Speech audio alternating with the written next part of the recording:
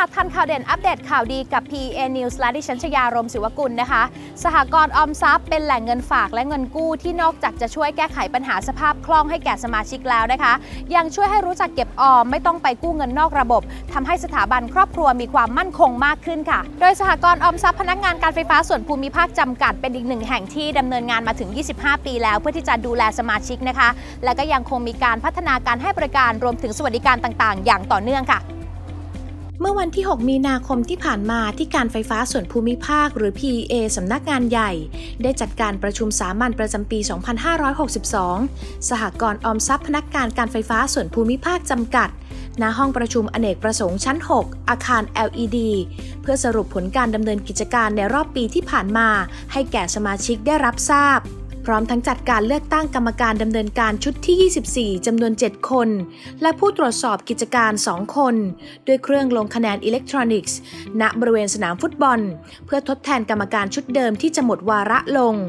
ซึ่งเปิดให้ลงคะแนนตั้งแต่เวลา 8 นาฬิกาถึง 14 นาฬิกา มีสมาชิกผู้มีสิทธิ์เลือกตั้งจากส่วนภูมิภาค และสำนักงานใหญ่เข้าร่วมลงคะแนนประมาณ 15,500 คน หลังปิดลงคะแนนเลือกตั้ง เจ้าหน้าที่ได้นำเครื่องรวมคะแนนอิเล็กทรอนิกส์ทั้ง 20 เครื่อง ไปยังห้องประชุมอเนกประสงค์ชั้น 6 เพื่อนับผลคะแนน ซึ่งมีผู้สังเกตการร่วมตรวจสอบ ก่อนที่ประธานกรรมการสหกรณ์ออมทรัพย์ จะประกาศผล และขอให้สมาชิกรับรองการเลือกตั้งในครั้งนี้ทั้งเจ็ดท่านนี่ก็จะต้องขอเสียงนะคะรับรองว่าได้เป็นได้รับการเลือกตั้งเป็น การดำเนินการนะคะ ขอมติยกมือค่ะสำหรับผู้ที่มีผลคะแนนเลือกตั้งสูงสุดทั้ง 7 คนได้แก่ นายจันยาวัฒนกุล นายวิเชียนปัญญาวานิชกุล นายภาคภูมิฉ่ำทวี ร้อยโทสุพจน์ใช้บางอย่าง นายธนาเศษพงทรงเสถียร นายเสถียรพงฤทธิเรืองเดช และนายทวีศักดิ์พรนุเคราะห์ ส่วนการประชุมใหญ่สามัญประจำปี 2562 มีวาระพิจารณารวม 7 วาระ อาทิรายงานผลการดำเนินงานตามแผนยุทธศาสตร์ประจำปี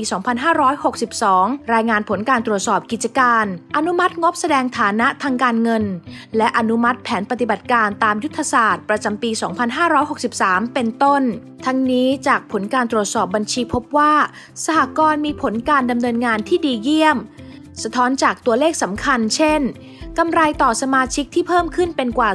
43,000 บาทต่อคนต่อปี เงินออมเพิ่มขึ้นอยู่ที่กว่า 1,230,000 บาทต่อคนต่อปี สูงกว่าค่าเฉลี่ยสหกรณ์ออมทรัพย์อื่น ๆ ถึง 1 เท่า และมีหนี้สินลดลงอยู่ที่กว่า 625,000 บาทต่อคนต่อปี แสดงถึงความสามารถในการบริหารจัดการสหกรณ์อย่างมีประสิทธิภาพ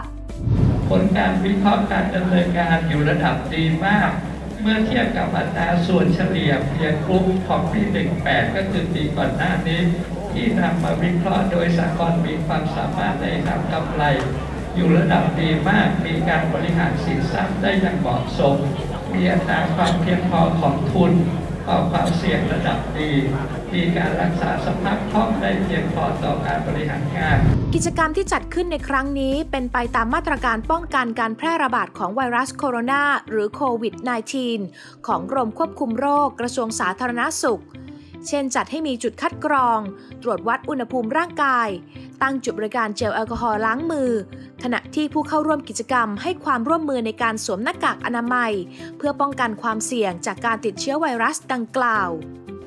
สหกรณ์ออมทรัพย์พนักงานการไฟฟ้าส่วนภูมิภาคเป็นอีกหนึ่งสหกรณ์ที่มีผลการดำเนินกิจการที่มั่นคง และสร้างประโยชน์สูงสุดให้แก่สมาชิกนะคะ โดยคณะกรรมการชุดใหม่นี้นะคะ ก็จะเข้ามาช่วยพัฒนาการบริหารงาน บริหารความเสี่ยงต่างๆ และนำเทคโนโลยีเข้ามาใช้ในการทำงานให้เกิดประสิทธิภาพมากที่สุดค่ะติดตามทุกความเคลื่อนไหวและอัปเดตข่าวดีได้ทาง PA News สำหรับวันนี้ดิฉันชยารมศิวกุลขอขอบพระคุณและสวัสดีค่ะ